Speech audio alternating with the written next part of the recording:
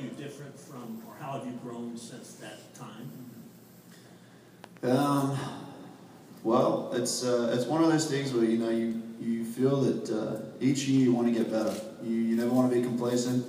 So I always always strive to get better in this game. I always want to improve on what I'm doing because uh, as soon as you sit back and just say that, hey, you know, I've got it all made, or one of these guys, game's going to jump on you pretty quick and it's going to take over you, and um, you're not going to stand a chance. So I uh, I always um, you know, I train hard, I work hard, I try to stay in the best shape that I can, mentally, physically, so that when I go out there and take that ball, I am uh, I'm focused and I know in myself, deep down, I just tell myself, and you can see what I'm probably saying on the mound out there sometimes. I'm actually firing myself up, but I'm telling myself that no one's going to beat me right here, you know.